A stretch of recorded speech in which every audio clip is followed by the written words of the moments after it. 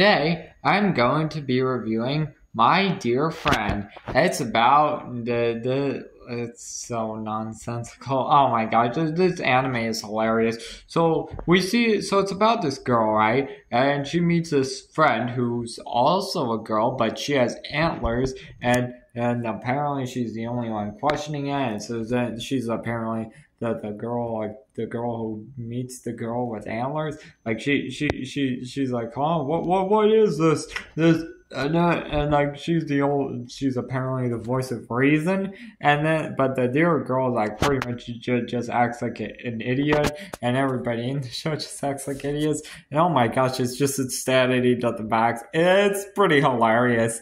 Yeah definitely worth checking out. Uh, you can find it on youtube. I'll probably link the the videos in the description. Okay bye